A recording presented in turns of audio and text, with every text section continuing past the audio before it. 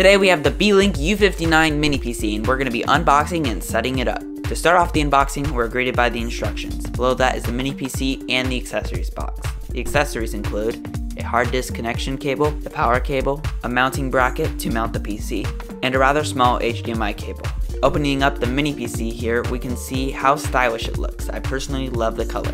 The ports found on the rear are two USB-A's, two Ethernets, two HDMI outs, and the power intake. Up front is another two USB-A's, one USB-C port, an aux out port, and the power button. And here's an overhead of everything valuable found in the box.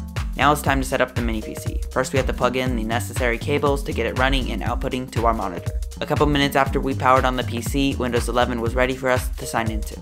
After putting in my Microsoft account and letting it update for a little while, we were finally up and running. That's it, this PC is ready to use. Thanks for watching, make sure to subscribe, and yeah, goodbye.